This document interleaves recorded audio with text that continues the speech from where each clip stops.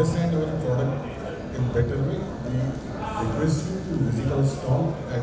Goa Community Center, Panjim, where we can